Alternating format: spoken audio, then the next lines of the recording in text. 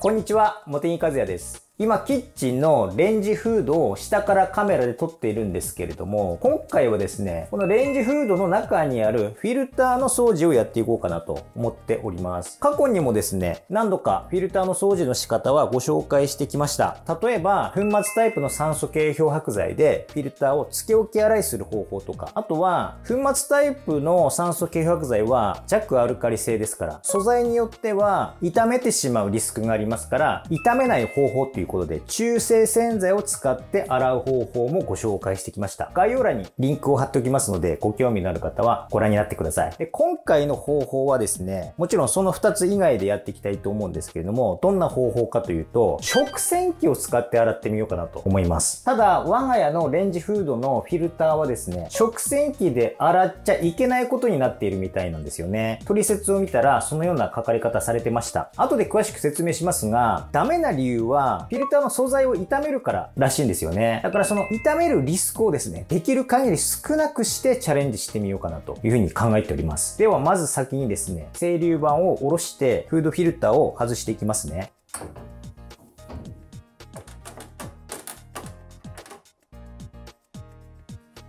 はい、これがフィルターですね。あと一緒にですね、オイルキャッチも洗っていこうと思います。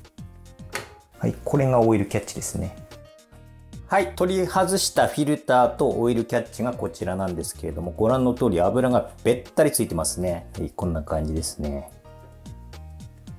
こちらのオイルキャッチにもですね、油が溜まってますね。ちょっと反対にしておきましょうか。それで、こちらがですね、我が家のレンジフードの取説なんですけれども、パナソニック製ですね。品番がこちら。どの品番かはわからないんですけれども、この中のどれかということになります。それで、お手入れ方法のところを見ていきますけれども、オイルキャッチの外し方ということで、まずこのオイルキャッチのところを見てみましょうか。一番のところですね。油や結露水が溜まっている場合は、キッチンペーパーなどで拭き取ってから、台所用中性洗剤で洗うと。いうことで、中性洗剤で洗ってくださいよという書かれ方されてますね。なので、ジョイはダメですね。弱アルカリ性ですからね。例えば大手の中性タイプの台所洗剤というと、花王のキュキュットやライオンのチャーミーマジカですね。ただ、キュキュットもですね、除菌のタイプの方は弱酸性になってますから、ノーマルのタイプが中性ということになりますけれども、その下なんですけど、フィルターのお手入れ方法なんですが、これも同じく台所用中性洗剤洗剤で洗ってくださいよと書かれているんですけども、ここ、お願いのところ、金属たわしなどは使用しないでください。これは塗装面が傷ついてしまうからということでわかるんですけども、その下ですね、食器洗い乾燥機では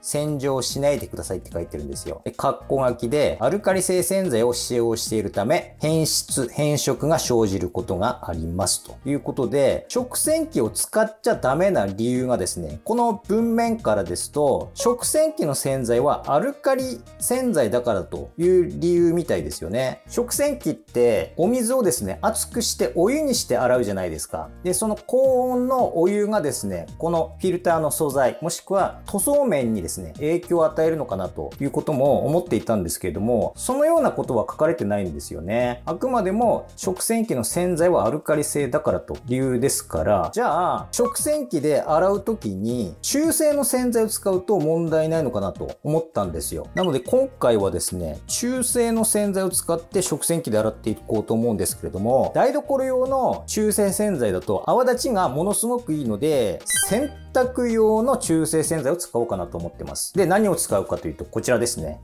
アタックゼロ。アタックゼロは中性ですからね。で、洗濯洗剤ですから、泡立ちはですね、消泡剤で少し抑えられていますからね。なので、食器洗剤で使ってもですね、まあ、そんなに泡は出ないのかなというふうに思いますんで、これでですね、洗っていこうかなと思います。もちろん、洗剤をアルカリから中性に変えても、メーカー側としましては、良しとしていない方法ですから、今回はですね、自己責任で行っていこうかなと思います。はい。では、洗っていきたいと思いますので、食洗機の中に、まずはフィルターの方から入れますね。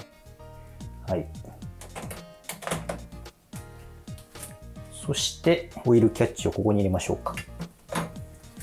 そして、こちらのアタックゼロをですね、入れていきたいと思うんですけれども、どの程度入れたらいいんでしょうね。適当に、この計量カップを使ってですね、この下の30のところまで今回は入れてやってみますね。はい。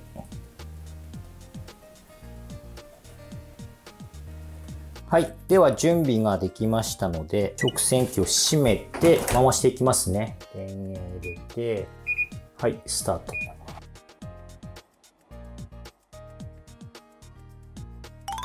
はい。まだ乾燥中なんですけれども、洗いの工程は終わりましたので、ここで止めてですね、開けてどこまで落ちたか確認していきます。では止めます。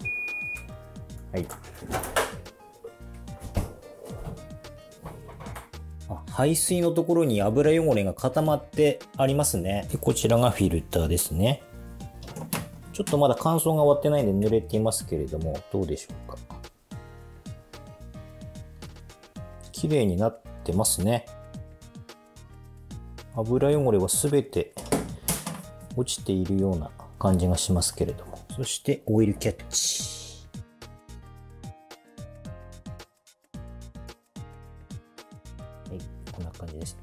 一旦水気を拭きますね。はい、水気を拭き取ってきたんですけれども、拭き取る時にヌルヌルした感じがですね、全然なくて、しっかり油汚れが落ちているんだなということが分かりました。こんな感じですね。ちょっとですね、塗装が剥がれているところがあるんですけれども、ちょっとわからないかと思いますが、あ、こことかポツポツと塗装が剥がれているところがあるんですけど、これはですね、前からなんですよね。今回で新たに剥がれた箇所はなさそうな感じはしますね。で、これまで最初にもお伝えした通り、酸素系漂白剤でも付け置きしましたし、中性洗剤でも洗ってきましたし、で、今回食洗機で洗ったんですけれども、楽さでいくとダントツ、今回の食洗機洗いが楽ですよね。ただ食洗機に入れて回すだけですからね。それと、このフィルターの素材に与える負荷と言いますか、傷めるリスクで考えますと、おそらく一番リスクが高いのは酸素系漂白剤の付け置きじゃないのかなというふうに思いますけれども、その理由は液性がですね、弱アルカリ性だからというところですよね。で、その次なんですけれども、中性洗剤もちろんですね、負荷が一番少ないように思いますが、ブラシ洗いをするじゃないですか。そのブラシ洗いの負荷と、今回の食洗機によるお湯の高温の洗浄による負荷ってどっちが高いんでしょうね。ちょっとわからないんですけれども、でも、今回のやり方、とてもですね、楽だったので、もちろん取説ではダメと書かれているやり方ですから、自己責任になるのはもちろんそうなんですけども、次回からもですね、直線機洗いでフィルターと、そしてこのオイルキャッチをですね、洗っていこうかなというふうに思いました。はい。ということで、今回はこれで終わります。どうもありがとうございました。茂木和也の YouTube チャンネル、茂木流掃除講座。